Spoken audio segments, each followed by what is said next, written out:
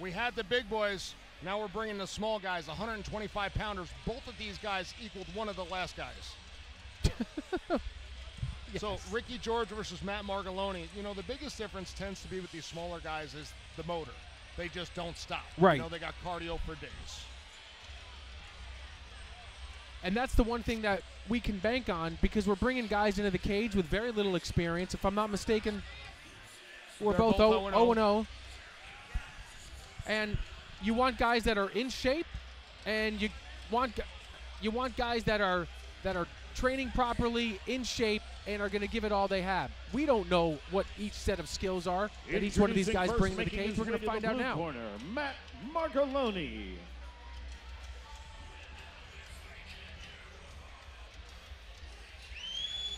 Matt Margelony coming to us out of Springfield Submission Society, a school that we have seen here several times. They bring their athletes ready to go. And again, with Submission Society in the name of your school, we know he's going to be prepared for the ground.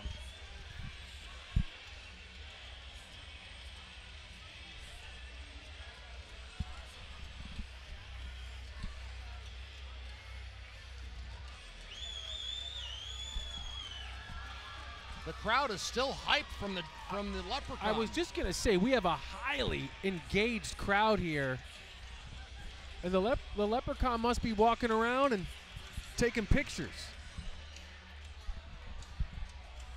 So Margelony in the blue corner. You'll see the blue tape on the shin guards and the gloves. Very calm, making his way into the cage. His opponent tonight, Ricky Jorge, Fighting out of Renzo Gracie Academy Latham. Again, another school where if you're going to represent them, they make sure you're prepared and ready.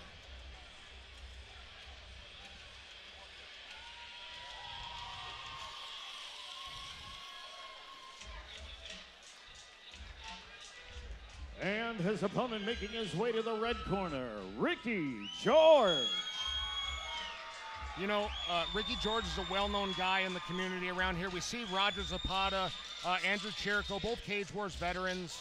Uh, Roger Zapata, pro fighter, was on the Ultimate Fighter. Yep. Again, a lot of people in his corner that are high level that's, that have been preparing this young man. You know, it's it's not surprising why everybody's so excited to see his premiere. yeah, and a nice uh, a nice round of applause and Well, and the other coach you see there is Lenny Baker. Lenny Baker's a pro fighter and a coach down at the Kirby Cave at Joe Ussolini's wrestling school. So again, this young man's going to be ready on the ground, as is his opponent. So sometimes that tends to neutralize each other, and this may end up on the feet. I'm excited. Jorge versus Margelony. It's our fifth of 14 fights here tonight, including three title fights. We'll bring it up to Mike Falvo in the cage.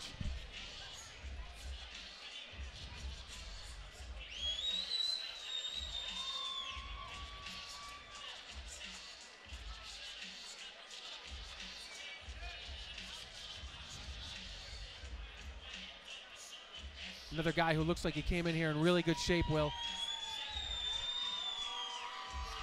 I mean, you know, they are 125 pounds. It's hard to be fat at 125 pounds in a guy.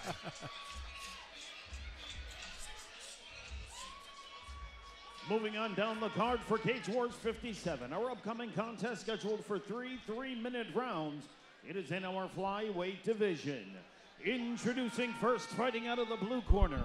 He weighed in last night at 126 pounds. Representing the Springfield Submission Society out of Springfield, Massachusetts, Matt Margelony. and his opponent. Fighting across the cage out of the red corner. He weighed in last night at 126 pounds. Representing the Renzo Gracie Academy out of Latham, New York, Ricky Jorge. And the man in charge of the action when that door closes is Dan Mergliotta. Ricky Jorge definitely bringing the hometown crowd. and I love to hear it. I absolutely love it, and that's got to give you a little bit of pep, right? You hear that, Oh, it really it does. You know, it gives you a jolt of energy. if you will. absolutely. Jorge in the red tape, red corner. His opponent in the blue. Ooh, nice kick. Jorge looking to use those knees from the clinch. Double underhooks. Looking for the trip. Pushing him against the cage. Good head pressure, changing that level. And immediately we know what Jorge is trying to do. Nice job. Ending up in side mount. Let's see if he can establish this position and stay here. Stay here. You see Margelony looking to push with that right arm, bring the hips in, and, and at least bring him back to half guard. Looking for the neck. Margelony fighting the hands. Jorge looking very dominant in the grappling thus far. Again, we're only a minute into the first round, but very impressive so far. I would agree with that. As we as we have seen though, they will stand these athletes up if they don't progress. Again, good job by Jorge using some ground and pound, looking to pass the legs, looking to his corner for some instruction. You know, you would think at the moment it would be difficult to get instructions or at least comprehend instructions from your from your corner, but it's part of your training, isn't it? To, It- to listen for instructions. That's part of the training, and that's part of the slowing down on the ground. You know, establishing a position, controlling your opponent, allowing yourself to look up, hear your corner. And again, he's not that far away from, you know, the uh, Renzo Gracie corner. He's doing a nice job keep controlling this fight and controlling this round. And I take that as a sign too of being uh, relaxed and alert as well, because so many things are racing through your head in real time There's to be able to process. full-grown human trying to hurt you. and yet you still have the ability to process instructions coming at you from 10, 15 feet away. So he looks like uh, he looks he looks seasoned for his first time in the cage, and he's doing some damage right now. Margelony, you know, happy to keep him in half guard at this point. Half guard in full rules is much more dangerous than it is in this novice rule set. Margelony looking to get that hip in. And you say Jorge that trapping that left leg so he can move around the corner. Nice job. It's an interesting point that you bring up in terms of the positioning on the body and what's more advant- advantageous in novice. It's all about where you can land those strikes. Yes, and in half guard uh, Yep. in full rules, it's nice. Knee on belly transitioning to mount. Less than a minute left. Coming up on the final 30. What can Ricky Jorge do with this position? Even if he does nothing, a really good round one so far for Uh, Ricky dominant Jorge. round. This could be considered a 10-8. You know, more so even than that last fight. I would say so. The only thing is he didn't really like inflict any damage that would make me feel like ooh. True, but again, the control time throughout that whole round was just huge. Yep. Final 10 seconds.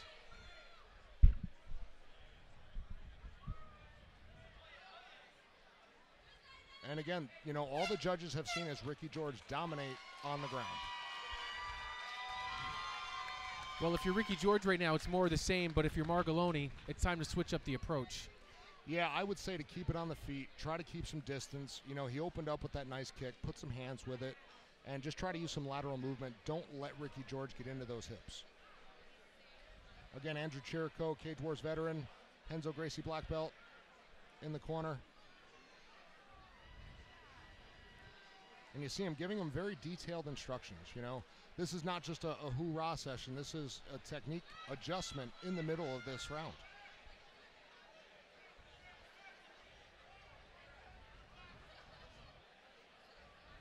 And again, very relaxed, listening to his instructions. They're even having a having a conversation. Yeah, it, it almost looks like they're talking in the gym. You know, like it's just an, another round in the gym. Here we go. Corners are out. Very Margelony impressed. pops up off that stool. I think he's got something to prove in this. Well, round. Margelony's got to land some hands here. Margelony and Ricky Jorge, round number two. Thank you guys for watching on Stimulus.com. We're live at Rivers Casino in Schenectady, Cage Wars 57. And it's an honor to be alongside my man Will Barry here. My name is Brian. Thanks for watching there the we action. go. There that it is. to the feet. But again, you know, Ricky Jorge closes the distance, changes the level, sucks the foot into the the leg into the hip. But Margelony's showing that he can. Nice single leg. Yeah, the ground game just too good for Ricky Jorge right now. And again, Margelony's not been in any major trouble with submissions, but he's not been able to, you know, hit reversals, hit sweeps. You know, it's pretty much been what Ricky Jorge wants to do when he wants to do it. You see him acknowledge his corner. He looks up. They shouted some instructions to him. You see Margelony looking for an underhook on the right side, trying to create some distance, left foot in the hip getting to his left hip, creating some distance. You know, he tried to, to hip bump there, but Ricky Jorge being heavy, doing a good job keeping that center of gravity.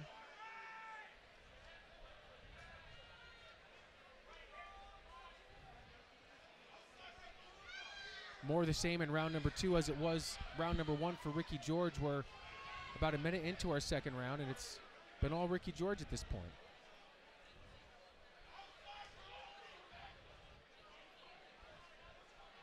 Margelony looking to try to roll him to the right side. Jorge aware of it, doing a good job. Using that knee to the body. We Very need to nice. see more of that. You know, and again, that makes his opponent move. It, it says, I don't want to be there anymore. Trying to take the back. Good job controlling, not not ground and pound to the face. Yeah, and Very Margelony, attempt to get up is really, it, it appears that he's putting himself in harm's way, but he's acting out of desperation at this point. He is, and he's doing some right things. He's getting to hips. He's trying to hip bump. You know, he's trying to create distance. He's fighting hands. But the pressure of Ricky Jorge, and, you know, Those these these punches are big and they're landing, by the way. they are, and he's not just settling for a position. You see him stepping over there to half mount. Great job by Ricky Jorge. This is absolute domination as we approach one minute to go in round two of three. So again, you see his opponent doing the right thing, getting that right knee into the belly. He better try to wall walk. Not a good position to be in with Ricky Jorge on top. Yeah, Ricky Jorge is sort of methodically wearing his opponent down. Looking to attack that arm, maybe. Nope. And again, his opponent rolled, but Ricky Jorge ends up on the opposite side mount. Just a good job staying connected to Matt Margelony. How do you like what Ricky Jorge is doing on the ground technique wise? I like it. I like that he added the knees. I like that he's making putting the forearm into the face because even though you can't ground and pound, you can make it miserable for your opponent. He's got a lot of tricks, and we are seeing the knees from the ground and pound, the ground, which we don't see all that often. And the key is to make your opponent move. So if you got that forearm in the throat, forearm in the face, it's making them uncomfortable. They don't want to stay there. If the first round wasn't 10-8, I'd have to say the second round certainly was. Well, I, was I a- would agree. This is a dominant performance. that was impressive. Round number two for Ricky Jorge. Real good, real good. you know, and I think if you're Ricky Jorge right now, you want to come out in this third round with a statement and end it. Fight fans, this is our third and final round.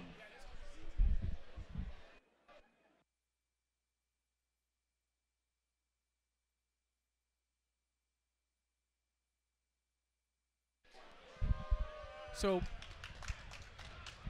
well, I know when you were, you know, you won more than you than you didn't win in, in your in your I, I did career. not. I did not. I did not. I was one and two in MMA, Oh. four and four combat sports in general. Dang it! Well, now you made a liar out of me. But so you've been in Margelony's position before. I have. I've lost decisions before. You What do you- know, not competed at my best. You know, there's a frustration in there because you prepare Yeah. for how many weeks? You know, you Right. put how many, how many sacrifices, how much blood, sweat, and tears you put into this camp. Is is there is there a part of you if you're Margelony, you just want to throw caution into the wind, forget technique, you just you just want to do something to. right, and it's you- frustrating. You, have to bang right now in the third round. In the words of Julian Lane, "Let me bang, bro." But credit to Ricky Jorge because he's been great this fight, and he's obviously up two rounds to one. And last round may have been a 10-8 or two rounds to nothing, I should say. Third round. But again, you see Margelony light on his feet. You know, he's not willing to accept this loss. Looked like he landed inside leg kick, or at least went for it. Look at his corners now cheering him on. Margelony, and good job by Jorge. And Margelony, or uh, yeah, Jorge willing to engage to get the takedown. You know, he's not going to fake those punches. He's willing to take some and give some to get to this position. Well, it's probably the worst thing that could have happened for Margelony at this point.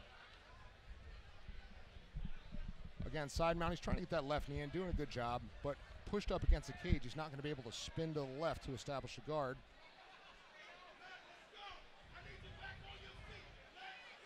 This is about a, as dominant of a three-round performance as we'll see in Cage Wars. It really is. And again, and I think that if this was an advanced rule set, this would not be going the full three rounds at this point.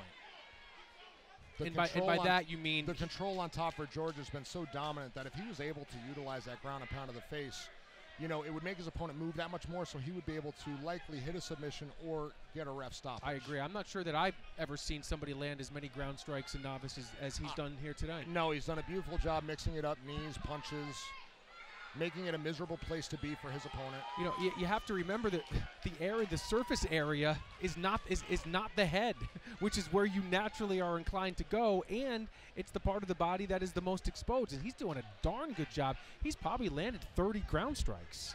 You know, and periodically you see him look up at the ref. You see him look at his corner. He's very aware of what's going on right now. He's finding that calm in the proverbial chaos. Impressed tonight with Ricky Jorge.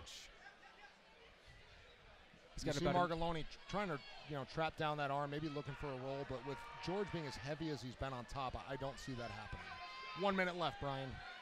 very, very impressive. Not taking anything away from Margelony, but Jorge has been the better man here tonight. And again, he's doing a nice job with his head. You see him put his head into the chin and on the face of Margelony, so he's keeping pressure with the body, but also down pressure with the head, and that just sucks to be on the bottom. And Marg- yeah, and Margelony just looks absolutely frustrated at this point. There's nothing that he could do. He was like caught in a, a spider for web for neck. three rounds. And again, you see Jorge, he didn't even want to attack Hmm. the neck there for the submission. He just wanted to get him back down on the ground and deliver some punishment. And Jorge is delivering blows everywhere. I like the cut of this guy's jib. Got to be careful there. And again, you see that head pressure up against that cage. That is a miserable place to be. He hops to side mount. Less than 20 seconds left to go in our third and final round. fight. Playing defense, looking to give up his back to get to the feet. Big shots. Less than 10 seconds, Brian. Here we go. Again, miserable, making it miserable for him, pushing the head down. Yo, Jorge, uh, Ricky Jorge has got some dog in him. He- he There's does. another guy to be on the lookout for. Just a dominant performance here, Ricky Jorge over Matt Margelony. Both of our fighters giving it everything that they've got, but it was a little too much for Margelony here at Cage Wars 57. But certainly, you can't hang your head. First time in the cage, up against a, a, a guy who, who came in here with a plan and was able to execute his plan for three full rounds. Certainly a frustrating night for Matt Margelony, but all credit to Ricky Jorge, who was just dominant in three rounds here tonight. It'll be interesting to see uh, the judges' scorecards if there were if there was a 10-8 round. I think at this point it's just that's just window dressing. I think it's a pretty obvious three round to nothing decision here for Ricky Jorge as we continue here with Cage Wars 57. We're live from Rivers Casino and Resort here in Schenectady on St. Patrick's Day. Happy St. Patrick's Day to everybody. March Madness weekend. Lots of action happening in Albany, Schenectady, all throughout the capital region. We appreciate you all watching on stimulus.com. The decision is in.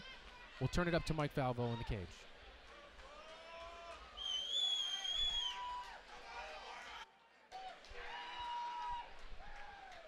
And now, ladies and gentlemen, after three hard-fought rounds, we go to the official scorecard.